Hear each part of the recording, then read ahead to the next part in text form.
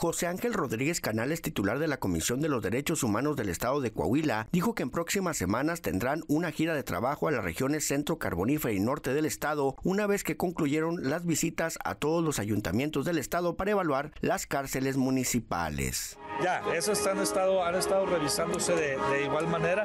En el informe presentaremos los, datos que hemos encontrado. Indicó que ahora la comisión se prepara para realizar las visitas a los centros de readaptación social del Estado, sobre los cuales tienen identificadas algunas carencias por denuncias que se han realizado y cuyo resultado también se emitirá en diciembre con el informe anual de la comisión. Tenemos un, sí, sí hay unas quejas, tenemos un punto de partida con, con ellas y vamos a tratar de, de irlas cumplimentando con esta revisión y con los temas de diagnósticos que ya se tenían. ¿El tema de, ¿El tema de quejas? Eh, las quejas van en sentido de instalaciones, básicamente. es lo que vamos a revisar, la adecuación y, y el respeto que tengan con derechos humanos. Informó para Telezócalo Jesús Castro.